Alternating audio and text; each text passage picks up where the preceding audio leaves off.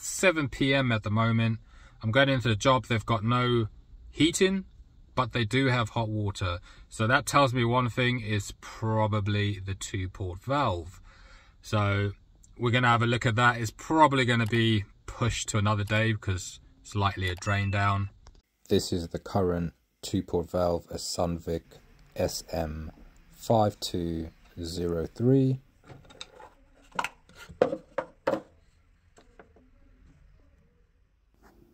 Danfoss HPA2 fits the body of the Sunvic. I luckily had one in the van, which was ready to go. Just like the Sunvic, the Danfoss has screws on opposite sides diagonally, just two. The wires are different on the Sunvic to every other two port, colors such as yellow and white. Neutral, orange and orange together, neutral and neutral, yellow we need to figure out. Everything is dead apart from white.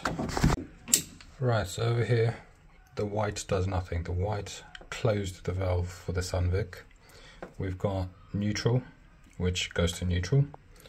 And then we've got the two oranges, two oranges joined together. We then have the grey and the yellow. And then we have the brown for the new valve, which requires a permanent live. Now the Sunvic didn't have a permanent live, so I'm having to do that now get something through to get a permanent live. We normally disconnect the white. What I've done is I've cut it out and I've put in a permanent live on the white. So I'm gonna sleeve that. The permanent uh, the permanent live then goes down the brown to the Danfoss. Okay. Uh, the yellow goes down the grey and the neutral is a neutral and orange is orange. I've set the programmer to permanently on for central heating. I just need to turn up the thermostat. Once I turn up the thermostat, the boiler starts up and then we just wait for the two port to move into position. Once the Danfoss moves into position, the boiler should fire and we can see the symbol there saying that the boiler has fired. I check the radiators with the room thermostat off, I'm now going to check the hot water still works and nothing's been affected. So that's what we're doing now. There we go, it fires up. You can replace the Sunvic with a Danfoss. So it's a Danfoss HPA 2.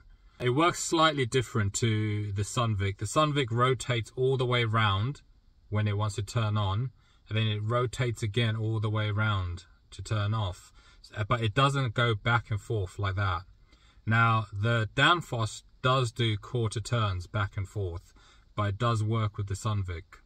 The wiring is an absolute nightmare. So the first thing you need to do is get rid of the two wires that we know are consistent. So the two wires we know are consistent are the neutral, which is blue, and the orange, which is orange. so, you know, the, the orange obviously sends signal to the boiler. So orange is always consistent on all valves. Uh, white is normally not used, so we would cut the white. The white closes the Sunvic. In a two-port valve, you normally don't need anything to be closed. The valve doesn't need to be told to be closed. So we can cut the white wire.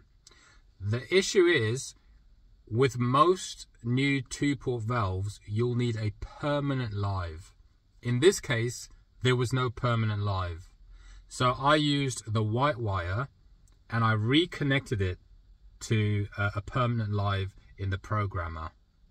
Okay, so the white then became permanent live.